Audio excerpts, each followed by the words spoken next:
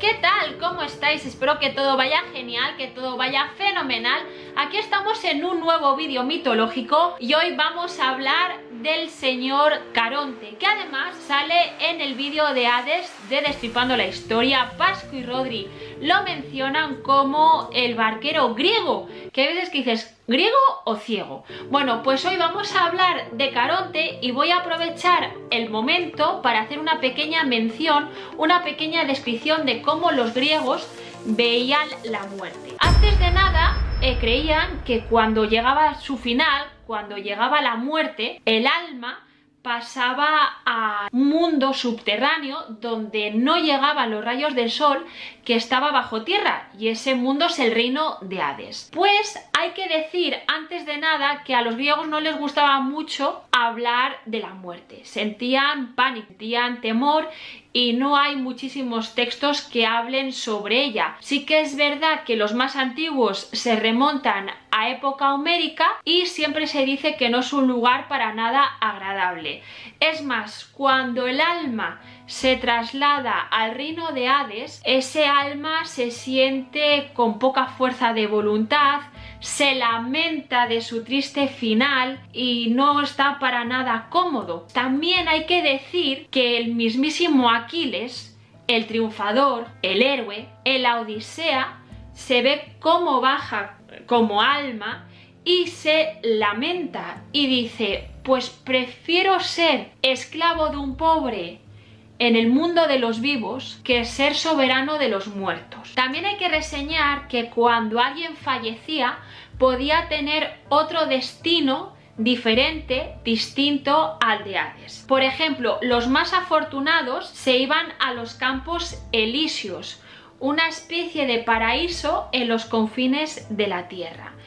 Y por el lado contrario, si eras una persona mala y ofendías a Zeus, te ibas directamente al tártaro, en lo más profundo donde sufrirías muchísimos, muchísimos tormentos y torturas, que es a donde va Ixión después de tirarle los tejos y todo, ¿eh? de lanzarle directas y super directas a Hera. Ah, y también mató a su suegro.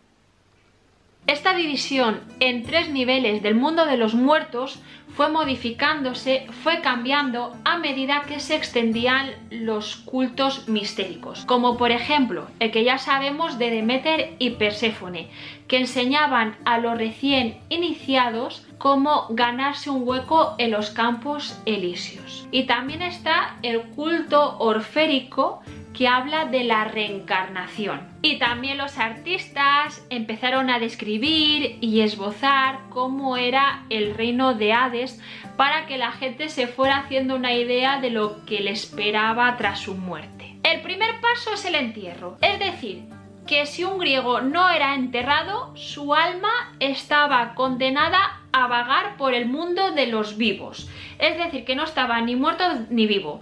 Sería en plan rollo Ghost, ¿Os acordáis de la película de Ghost? Una película súper maravillosa, súper romántica, en la que Patrick Swayze, tampoco quiero hacer spoiler, pero está por ahí hasta que no se cumple su empresa. Bueno, pues en el caso de los griegos era que su cuerpo fuese enterrado. El segundo paso es que cuando ya está tu alma preparada, Hermes te guía hasta el Aqueronte o Estigia.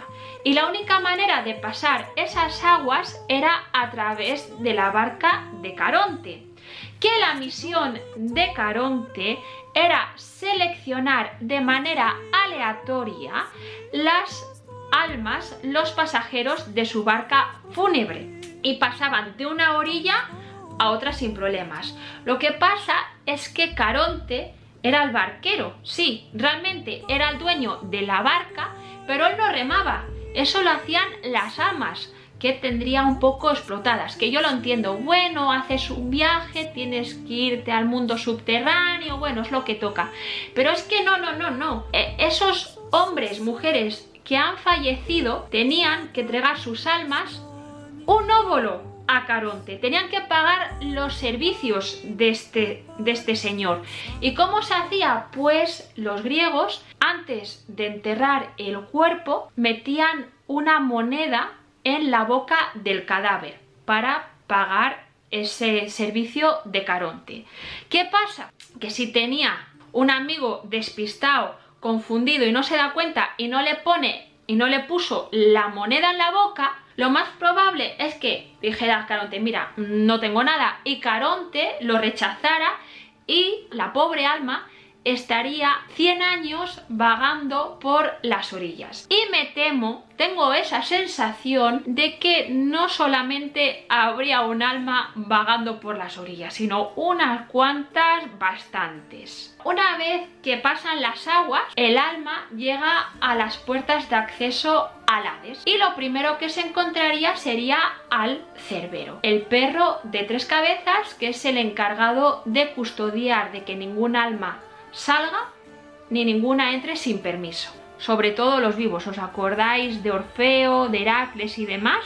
Bueno, pues el cancerbero se dedicaba a que todo estuviera equilibrado, de que todo estuviera normal, que no hubiera cosas raras. Y luego se ve ante el palacio de Hades dos manantiales, el de las aguas del olvido y las aguas del recuerdo. Y os preguntaréis, vale, tengo que beber de estas aguas. ¿Y cuál bebo? Pues solamente los que practicaban los cultos mistéricos sabrían qué agua beber para ir a los campos elíseos. Hmm, la juja. Una vez que el alma bebiera de una de esas aguas, pues se encontraba en un cruce de tres caminos llamado el juicio.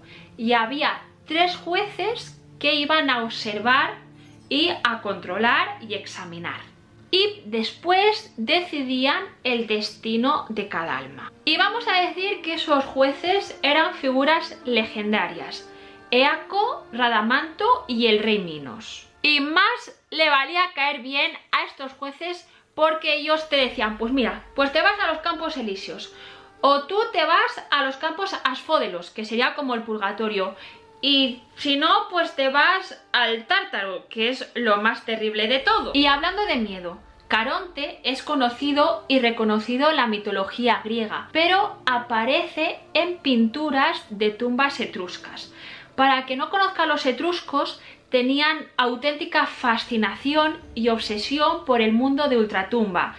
Y la arqueología ha hallado tumbas, ajuares maravillosos, fantásticos, que son verdaderamente increíbles. Me gustaría hacer un vídeo sobre los etruscos porque de ellos se conoce muchísimo el tema de, de la muerte y también de una libertad un poco sexual que llama muchísimo la atención. Eran, eran, muy curiosos estos etruscos. Se suele representar, solían representar los etruscos a Caronte como un demonio alado con cabellos de serpiente y que iba con un mazo con el que mataba al moribundo y se lo llevaba con él al mundo subterráneo. La verdad que es una escena terrible, pero es así, te remata. O sea, Caronte está ahí para rematarte. Y los griegos lo tienen como el barquero, o hijo de Nix, la noche y Erebo, las tinieblas. Así que algo luminoso no podía salir de ahí, tenía que ser algo oscuro. Bueno, se suele representar como un señor mayor eh, con la barba y el pelo descuidados, despinados, que vestía con trapos, con trapejos, así como muy sucio y sombrero. Y además era cruel, despiadado y pasaba completamente de las almas. Es un ser frío que no tiene ningún tipo de compasión. Si es que pero os voy a contar otra cosa. A pesar de que Caronte fuera un poco payaso, un poco mala persona, ya sabéis que Heracles bajó al mundo subterráneo, bajó al mundo de los muertos y le pidió al barquero que lo llevara. Y Caronte dijo que ni por asomo, o sea, no se lo iba a llevar porque, claro, no podía llevar a un vivo al reino de Hades.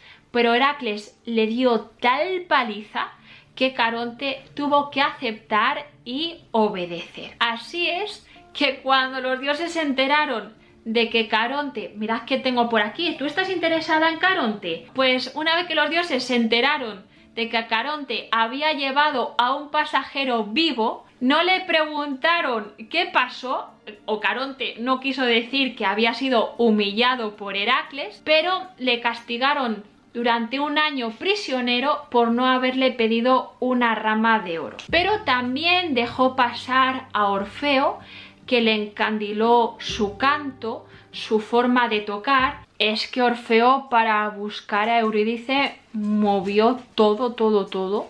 Y es que estaban todos enamorados. Es que Orfeo tenía todas las papeletas para ser de Best.